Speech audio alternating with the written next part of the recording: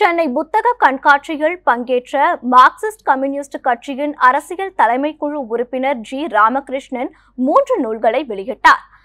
தென்னிந்திய புத்தக விற்பனையாளர் மற்றும் பதிப்பாளர் சங்கம் சார்பில் சென்னை நந்தனம் ஓஎம்சிஏ மைதானத்தில் புத்தக கண்காட்சி நடைபெற்று வருகிறது இந்நிலையில் நேற்று நடைபெற்ற புத்தக வெளியீட்டு விழாவில் மார்க்சிஸ்ட் கம்யூனிஸ்ட் கட்சியின் அரசியல் தலைமை குழு உறுப்பினர் ஜி ராமகிருஷ்ணன் எழுத்தாளர் ஆ பாக்கியம் எழுதிய அருவ ஜீவிகள் சென்னையின் மறுபக்கம் ஒரு எதிர் கேள்வியின் தத்துவம் என்ற மூன்று புத்தகங்களை வெளியிட்டார்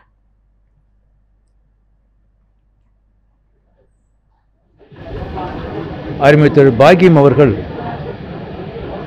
அவர் நாளேடுகளை எழுதிய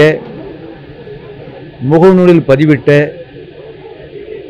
பல கட்டுரை தொகுப்புகள் என்பது இன்றைய நிகழ்ச்சியில் வெளியிட்டிருக்கிறோம் அடுத்து அறுவை ஜீவிகள் என்ற இந்த நூல் மறைந்து மறைந்த அந்த தலைவர்கள் அந்த ஆளுமைகள் இப்போதும் வாழ்ந்து கொண்டிருக்கிறார் என்ற பொருளில் தான் இந்த நூல் இந்த கட்டுரை தொகுப்புக்கு அறிவு ஜீவிகள் என்ற ஒரு பெயர் டைட்டில்